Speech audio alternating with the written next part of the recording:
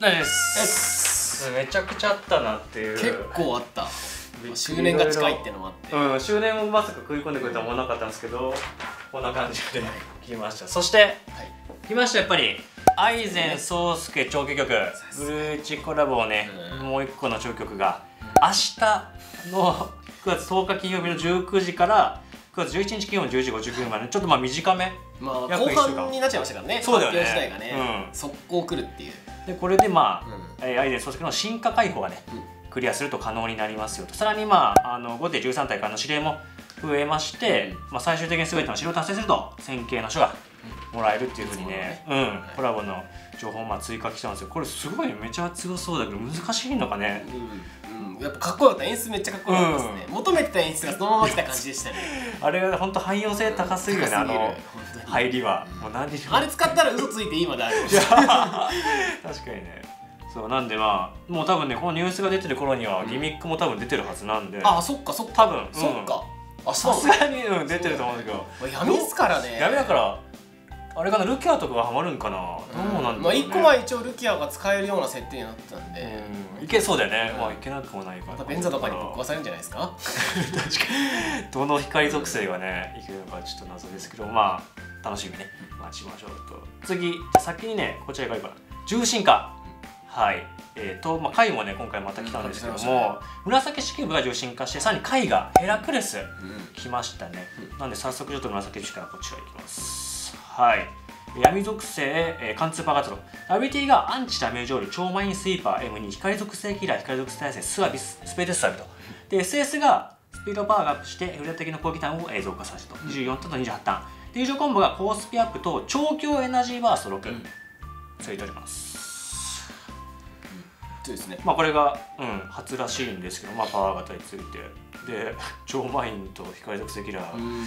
持ってパワー型だからまあ殴りは相当ちょっとやばそうなやばそうとか感じするよね。スピードアップもあるんで、うまあなんかいいとこ全部持ってきましたね、ん、うん、ウルトラドは今更ですけど29極とかワンチャンあるかもしれないですね。ああ攻撃アップあるしスピードアップある。まあブロックと魔法陣がないんでどういう風なものになるかっていうと、まああそこに行ける属性キラー自体がもうそこまで多くないんで、うんうんうんまあもしかした完らまあ、わざわざ今のメンツ入れるかって言われると入れないかもしれない。けど、うん。ありそう。なるほどね。でもジャスカンヒタはもしかしたら入れるかもしれないかもしれない自身が高スピアップ持ってるのはまあ、うん。いいよね、まあ、あとエノバ調教初でかつキラ乗ってきますよね全部サービなんで。キラー乗ったらそうね、ん。なんかまあこっちも強そうですよね、でもパンドラでやれよって話になってくるんですよ 課長卿は確かにね やっとかっていう感じはあるっちゃあるけど、うんこれでもイラストめっちゃ良かったんだよよなかったけどびっくりした。なんか周りにいっぱいいて。そうそう。うん。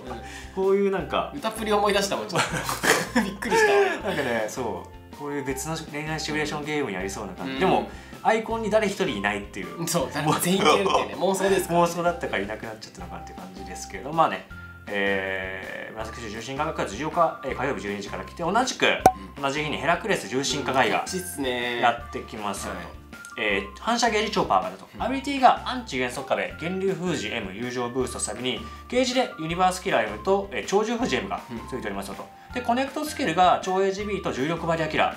条件、えー自身と線形ごとのキャラが1体以上もしくは、えー合計の100以上で発動しますよと、で SS が8ターンと20ターンの、えーランダレーザーですね。で友情コンボ。波長光レーザー入れると白爆発入れる。うんどんだけキラー持ってんのって話になってこれ結構強そうだよね。で超パワーそうなったから、衝撃も持ってきて。でレーザーエッセンス捨てたから。レーザーエッセンス 一旦ランダしようってなったんだろうね。うん。ヘラクレスも気づいてくれた。うん。で減速回もらってるしね。よ今後。良さそう。うん。さすがにこれは強そうここの枠やっぱりね少なかったですもんねこのね。まあなんかこいつって結構情報修正でこういう性能になっててユーブとかもその時もらってたんだけど、うん。それがそのままやっぱ重心化でね回に持ってきてくれたのが嬉しいですね、運極にしたい。こいつ。運極にしたい。楽そこまで意外にでも70ぐらいあった確かにね高いとも多そうなうん。キャラではあるからマジで運極にしたい性能ですねで本当にもう白爆発言えるそうだよね、うん、そうそうそうそうやりたい。でこれキラー乗ってさつかつレーザーなんでこれもまあそ 相当だよ。ヘラクレスなんかもともと爆発出てきた時は爆発枠で相当優秀なキャラだったんで、うん。うんまあ、友情もキラー乗ったら強いって感じだったから、まあ、そのまま強くなったって感じだよね、まあ、ユーバーあるからねここれやばいな、強そう。何個キラーなんて6個あるよね。ろそう M 六個あるよね。そうそうそう。M 12345ユニバーサルないに ないに等しい。まあちょっと確かにね。まあ GB が当倍ですけど。うん。超 G があって、これは普通にパワー型としてなんか使う感じは全然ないだろうな。もう動きやすいだし重力張ってるキラー対象だったら全部 EL みたいなもんですからね。3倍よ？全部。それはやばい。普通にやばいっす。マジで。多分やばいこいつ。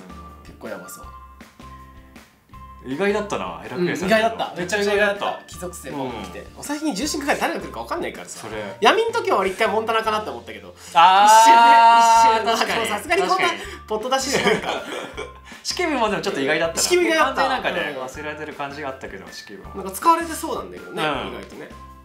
はいというわけでまあ一応重心化とうん。回でしたと、そしてこちら、えープレイバックガチャがもうね来ましたね。8周年が近いというところで、えー9月11日金曜日の12時から10月2日土曜日のね11時59分まで開催されます。まあこれ何ぞやっていうとあの専用アイテムガチャバットを使って最大6回までねガチャの引き出しができてあの前のガチャの結果とあの現在のねガチャの結果をこう比べてこうどっちがいいか好きな方の結果を取ることができるガチャになってますよと。はい、で限定はこれ多分全部対象かな？今回。ね。対処法ですね、うん、で出現確率24%なんでまあ実質10連でまあどんだけ星5をこう引けるかの勝負。あと引き際は間違いない。確かに。だから6だから回前回の結果習志野のやつ覚えてないってことは多分行き過ぎてる。これはマジで大事。これ爆死これは爆死 だ だね多二人とも分なんかそうだね、うきっとどっかで。多分行き過ぎちゃったんだろうね。確かにね。確かに、だからもう欲張って欲張って目標決めた方がいい。妥協ライン。こいつが出たら即やめみたいな。ああ確かに。もうそうだね。もうね求めない方がいいっ一体でも狙ってるキャラが出たんだったらもうそこで終わるかあとはなんか対数とかでうん。めちゃくちゃ紙引きできたからみたいな、まあるかあとね、まあそうラックとかそうラックだね。うんありそうだけど。だからまあ6回ですね今回マックス。6回なんで。5回目と6回目の結果はこう選べると。マジで引きたくないガチャのキャラを引きたいな。引きたくないガチャで出るキャラを引きたい。うんまあでもなるべく確かにその辺多くやっぱりこれ引きたいからね。そう。ちなみにでもこれそう引き直し前と引き直し後のね2種類の結果からしかねうん。できませんので。これが全部やったらちょっとめっちゃやばかったからねすがにやばい。なんかね。うんプレイバックチョイスガチャ。そう。全部本当にどんだけバックするのって話になるんですけど、まあ、これもね来ますんでまたこれも来週なんで、うん。うん。でガチャバットは手前でそのガチャ来る手前でなんかいろいろミッションがあそうそうそう。これも一応その回収は。うん。はい。その表みたいなのここに、はい、置いとこうかなと思ってマジで光入れないでほしいんだけど。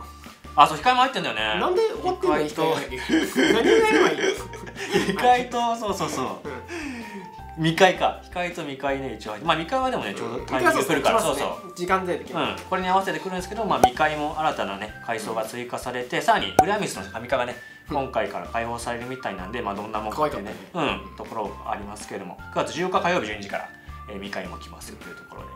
信号です。ダウト。かっこよかった。これめっちゃかっこいい。なんかめっちゃかっこよかった。20世紀少年に出てきそうなイラストす。ごい。めっちゃかっこダウトめちゃくちゃなんかうんコミカルっぽいこれ誰がハマるんだろうね。ザドキエルだったら簡単そうだけど、ね、これ誰なんだろうね。直近でねなんかさっき見た時ね貴族性でしょ。貴族感なかったんだよね。まあエリミネーターとかハマってくれたら助かりますけど、うん誰なんだろう確かに。9月11日金曜日19時から21時で、まあ、これも来るんですけど。ルガッサ新システムがまあ来てね何かしらが来ると思うけど確かに。貴族性だったら誰になるかな。ワープ減速壁って少ない？限定。うわここありそう。ワープ減速。ルガッサエリミネーター織姫。あてか織姫はありそうだね。いや超ありそう。織姫は直近ですぐハマるってのはうん。ありそう、あとあれか。デトラビとかがもしかしたらあーどっちかがそうだね来る可能性は高そうだね。デトラビありそうだね、うんまあでもデッドラビッツとあとなんだっけあのザドキエルとかその辺がハマってくれるのは逆にキャラ持ちいい人は多分簡単になりそうな気がするんで、確かに。うんあだまね極端なパターンだったら前回みたいにあのキャラさえいればみたいな、うん。あとはね、うん、あの裏女1年生がガッツリハマるっていうパターンもありそうだね。ああ貴族性ね貴族性の。確かに。ラブライブなんか定期的にちゃんと豪絶とかハマってくれてるから。身長今日ハマったりしあて。るかられなんだっけギミック？えっとね原則壁はブロックとかマインスイあーマインスとか原則壁はアンチブロックだからうん。意外にどれか来てもいけそうな感じある。ね最近一番出てるのはワープ原則壁か。うんうん。織姫エリミネータールガッサ。そうだね。うん。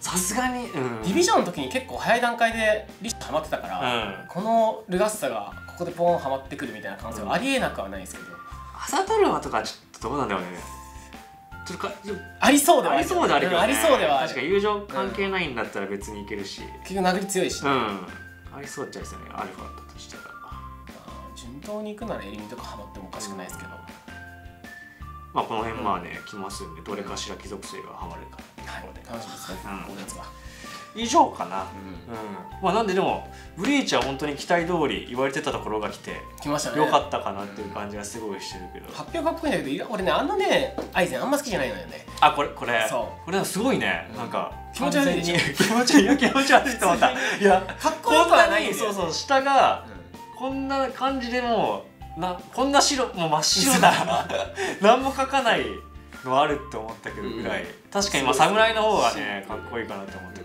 通常のアイゼンね、うん。の方がかっこいい、ね、なっちゃったんだっていう。だってバナーのアイゼンとかやばいじゃんもう。怖い。あそうホラーみたいになっちゃってるから、すげえなとまあでも期待通り来てくれましたね、うん。はい、あこれ銀ハマったら嬉しいんですけどね。あー。そのままそのまま銀ハマった言ってたもんね。言ってたもんね。嬉しいですけどね、うん。まあ、ありえるよ全然。銀用が最適みたいな可能性もあるから、うんうんうんうん銀なんか作っといてもいいかもしれない、うんまあギミックどうせ出ると思う。確かに。はい。わけなんで、まあ、皆さんもねあれはこれはコメント欄にですねぜひお願いします。いやまあでも8周年がいよいよ近づいてきたって感じがしましたね。というかねちゃんとよろしくお願いします。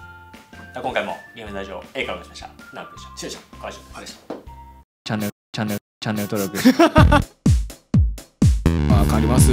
わかります。その君もなくなっちゃったわかるよわかるよ。チャンネル登録。チャンネル登録。チャンネル登録ね。はい。チャンネルチャンネルチャンネル登録わかります。わかります。その君もなくなっちゃったわかるよわかるよ。チャンネル登録チャンネル登録。チャンネル登録ね。はい。していただければね